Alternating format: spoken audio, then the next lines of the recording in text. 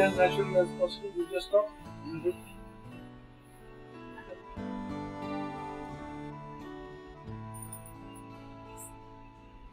Sanjay, we were wondering if someone doesn't yet have a guru to teach them Jyotish, how should they get started? Guru as such means anyone or anything which removes darkness of ignorance. In the West, there is a concept that Guru must only be a living human being, which is not really, really right. The Guru is a book, the Guru is knowledge. Uh, the person who carries the knowledge is called a Guru for he is carrying the knowledge in his head. So, as I say, you know that all charts have a Jupiter. And if all charts have a Jupiter, so everybody has a Guru. That Guru is already there in your chart from the day you were born. And what you are looking for is a human being who already has this knowledge in his head. You, when you mentally accept somebody as a teacher, a guru, then only will the knowledge flow towards you. Water always flows from a higher level to a lower level. For that, you have to accept that you are at a lower level. When that acceptance comes in the student that I do not have this knowledge and I go to the knowledge, then that knowledge will flow to you. Then, when you start learning, it's like learning ABCD you really don't need a PhD scholar teaching you ABC. You go to a school like so many other students and you learn your ABCD, you learn your language, you learn your various subjects. A stage comes in life where you are now ready for that level of Jyotish, which is called the classical top levels. Like, let us say, you want to now study Hora Shastra. Parashara Hora Shastra. Parashara Hora Shastra is not the beginning of Jyotish really. Parashara Hora Shastra has to do with a slightly more advanced level, not a beginner's level. At that point of time, you could consider taking a Jyotish guru to walk you through the course. And that is how the first guru comes into a very high PhD level, like the Jaimini Sutras. These are sutras for which you need maybe a higher level Jyotish Guru. So you seek the permission and basically the contact of such a higher level Guru from your first Guru and then go to him and learn. So gurus will come one after the other and teach you. If you have the ankar, the ego, to believe that you have the knowledge, that means it's tilted the other way. Mm. The water is flowing away from you. It's not flowing towards you. It is your own ego which is chasing the knowledge away. That is how we have a Jyotish Guru and we gain some knowledge from the Jyotish Guru. It, the Guru is the same for all students. It is the individual student level of ankar that decides whether you really get the knowledge or you will not get the knowledge. along. But the question is, is there something that in your chart, whether it's a yoga teacher or a spiritual guru or a Jyotish guru, is it something in the chart that'll point to the master coming to you? For example, yes, that is true. Also, levels of Jyotish. Levels of Jyotish is what we are talking about. Are we talking about Vedic astrology at the level of the fifth grade, tenth grade, or are we talking about Vedic astrology at the level of a PhD scholar? What we call the Jaimini Scholar Program. It's like a PhD scholar program. Right, so so when we are talking of levels, we have different levels of knowledge, and we say one is a body level knowledge, then is there is a mind level knowledge where you are playing with things at the head to understand the logic behind things happening, and then there is a supreme level which we call the soul level where the knowledge is just expanding inside you. So for the body level, we look at what is lagna or the first house, and from there we look at yogas which will give you this knowledge. And there are yogas which can give you this knowledge, and for that we need a yoga of the sun. Unless there is a yoga of the sun or a yoga of the eyes, you see, we say that Jyotish is the chakshu or the eyes of the Vedas. Now, in Vedic astrology, we know that the eyes relate to the 10th house. So, unless there is a yoga which is giving the knowledge of the eyes, Vedic eye, to you, it doesn't show getting that knowledge very well at the body level. Then we go to the mind. There are yogas which will show getting this knowledge at a mental level. Where we are talking is you are talking about yogas, the combination, deciding what is right, wrong, working with a teacher who is guiding you through the nuances. You are working very hard, making notes. That is the second level. There are yogas for that. And finally, the topmost level, I say, is is it coming from the soul? Do you have a strong enough desire from your soul? Because if you have that, you can continue Vedic astrology maybe 20 years, 40 years. It can become your life path. Now, we know that this is a knowledge of the sun god. And the sun god has his natural house in Leo, which is the fifth house of the natural zodiac. And desire as a function for any planet or anything has to do with the opposite, the seventh house. So if my soul has a link to the 11th house, then the knowledge should be in the opposite. My desire should be in the opposite. So if the Atma Karaka has an association with the 11th house or is in the 11th house, then naturally it will push you towards the fifth house to get that knowledge. Your desire will be on the fifth house. So long time back when people ask me, what is the sign that will show somebody learning Jaimini? And I give a very small dictum. The Atma Karaka must be associated with the 11th house. I said, try it out on all the charts and tell me whether I'm wrong. They were surprised. They said, no, no, no, this is wrong. I said, but they should try it. When they tried it, they were surprised it was there in K.N. Rao's chart also. It was there. It is there in all charts of, you cannot become a Jyotishi at that level if your soul is not dedicated to the knowledge. If that is not what your soul is seeking. Statement I read. Every sinner has a future as every saint had a past. There is no saint who doesn't have a past, nor is there any sinner in this planet who doesn't have a future. That is the whole concept behind rebirth and reincarnations. Why do we, why are we born again? If you talk of rebirth, why? Let us say there is rebirth. Then why are we being born again? It's come and play soccer and go away. So essentially, we are in the territory of Rahu Ketu, aren't we? When we talk of reincarnating.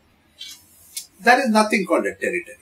It's all about, it's all about why are we coming? Why are we coming back? For what purpose? Because there is hope for a better future. There is hope that we can overcome our sins. Give me another opportunity. Here's another opportunity. Do good karmas and overcome your sins. Simple as that. That's why we are being born. If there was no hope, we would not we would not even have agreed to being born again. Because there is hope, that is why we are being reborn. That is the essence. Rahu, Ketu, this, that, that's that is the Jyotish aspect of it. That's the mathematical aspect of it, where we are synchronizing stars, star positions and planet positions to what we are talking about. But let's be clear about the theory in the first place. All nine planets are involved in our rebirth, not just Rahu Ketu. Right. Religion is a language to talk to God. God is one for all human beings. Yeah. And religions are nothing but different languages to talk to that one God.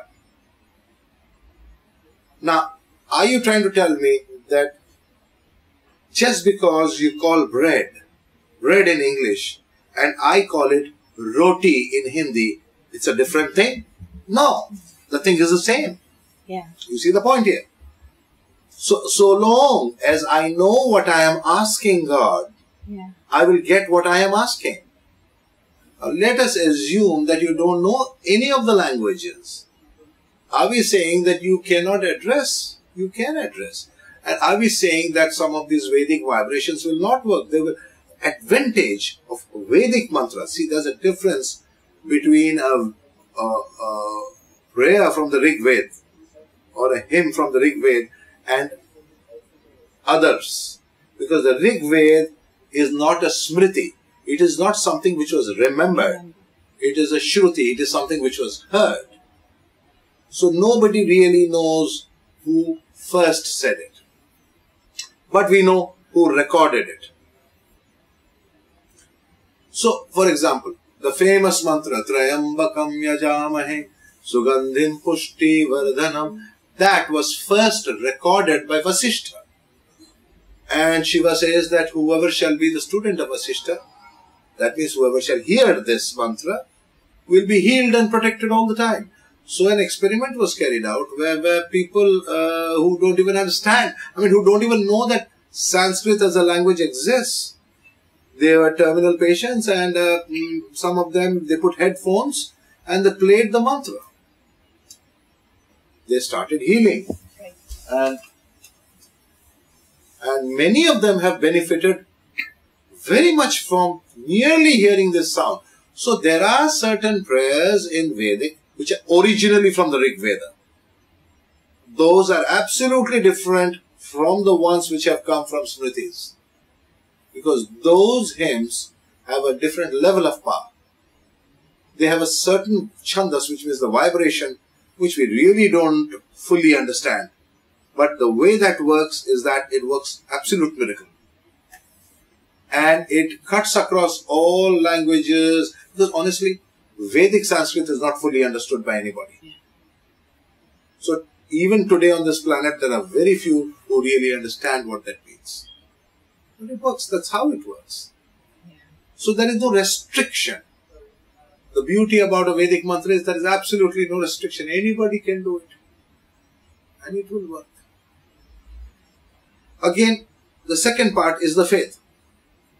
The lady who is in a semi-conscious state, who can barely even know where she is and is listening to the mantra playing through a headphone or through a speaker on the side. She doesn't even know. She just thinks it's some sound happening on the roadside. She gets cured. Why do you need belief for it to work? That is my question. People say you don't believe so it's not working. No. When you take a medicine, do you believe that that medicine will cure you? No. You take the medicine because the doctor gave you the medicine. You have belief on the doctor, not on the medicine. You see the difference between the two. Here you have come to a Vedic astrologer because you have faith or belief on the Vedic astrologer that he knows his subject. And he is giving you some medicine. The belief is with the astrologer. The belief is with the doctor. Because honestly, you don't understand the medicine here or here. So it's the patient's uh, or the person's belief in the In the doctor that cures him. The patient must believe the doctor.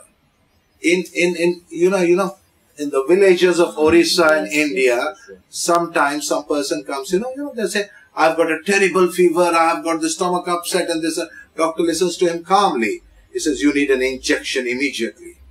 He takes distilled water, gives him an injection. The fellow becomes okay next day. What cured him? It was distilled water. Distilled water doesn't cure. It was faith in the doctor. See the point? Human. There is an energy which we don't understand. We call it a psychic energy or word of energy. When you have faith in someone, that faith is faith in God. For God sits in the heart of the doctor. Go to a guru to learn. If you have faith in the guru, you are having faith in God. It is that that teaches you. and it then is- the remedies will start. working. Everything will start working. The problem comes when you don't have faith in the teacher or on the doctor. And you're looking for faith in God. You know, sometimes I joke with the students. You can't trust a human being. You really think you can trust someone you have never seen? quality you would say, which is um, not just as uh, learning Jyotish, but as practicing Jyotish, you know, uh, like giving people um, the remedies and what is that key in uh, technical or even kind of like on an emotional psychical level what is those qualities that you think are you know have to be there for a successful jyotish um, you know to heal people essentially see there are two things in jyotish one is healing and one is predicting yeah. you could be a very good predictor but you can't heal anybody you could be a very good healer but you can't make a single prediction or maybe you can do both you see my point? Yeah. For prediction, you need to be technically very strong.